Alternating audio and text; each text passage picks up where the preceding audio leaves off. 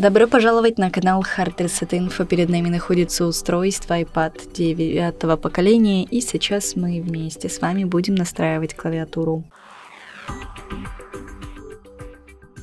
Открываем настройки, проходим в раздел «Основные», здесь выбираем «Клавиатура», и здесь мы можем начать с языков. Нажимаем клавиатуры, здесь можем нажать «Добавить новая клавиатура» и добавить какой-нибудь язык. Если хотим удалить язык, нажимаем «Править», выбираем язык, который хотим удалить и удаляем его.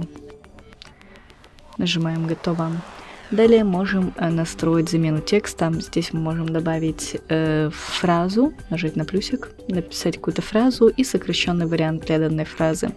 После чего, когда мы можем, будем вводить сокращение, нам будут предлагать заменить его на полную фразу.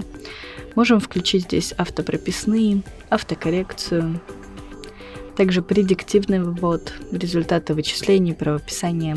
Можем включить капслог, сокращение, смарт-пунктацию, раздельную клавиатуру я выключу. Э, можем включить пролистывание клавиш, скольжение по, клавиатуре для вывода. Если оно включено, то также можно включить удаление начертанного слова. Можно включить быструю клавишу точку и диктовку. И на этом все. Спасибо за просмотры, ставьте лайки и подписывайтесь на наш канал.